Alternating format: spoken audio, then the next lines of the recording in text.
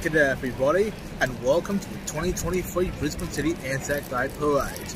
I'm coming to you live from Anzac Square and I look forward I look forward to showcasing you a lot, all, a lot of a lot of our veterans as they march past us this morning. Stay tuned.